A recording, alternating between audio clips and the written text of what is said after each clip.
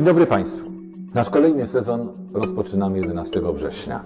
W repertuarze ponad 20 parę tytułów na trzech naszych scenach, a nowy sezon, nadal rok jubileuszowy 90-lecia Teatru Ateneum trwa, rozpoczynamy w październiku absolutnie, czyli Jacek Bończyk śpiewa Wojciecha Młynarskiego na scenie imienia Wojciecha Młynarskiego, potem Antygona Sofoklesa na dużej scenie, następnie sztuka specjalnie napisana dla Teatru Ateneum w roku niepodległości o Ignacym Paderewskim i na początku stycznia Bułhakow, nieznana sztuka warszawskiej publiczności, mieszkanko Zojki. Serdecznie Państwa zapraszamy.